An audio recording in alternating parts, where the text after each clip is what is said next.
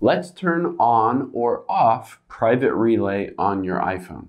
Now, Private Relay allows you to protect your identity if you're browsing the web, but sometimes you want to turn it off because it could potentially slow down your internet as well going through a VPN. So I'm going to show you how to turn it on and off. Let's go into our settings here and we will tap on our name at the very top.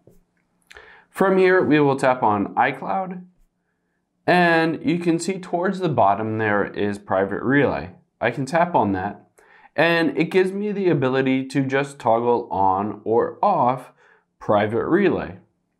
When you turn it on, it does give you the option if you go to IP address location to either have maintain general location. This will give a bubble roughly around the city or town that you live in, or you can just use the country and time zone if you only want it to be, say, Eastern Standard Time as the only location that pops up in if you visit a website or an app or something like that.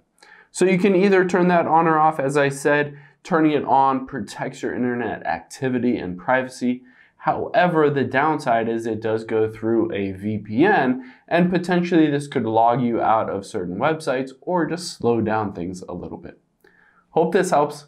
Thanks for your time today and I'll see you on the next one.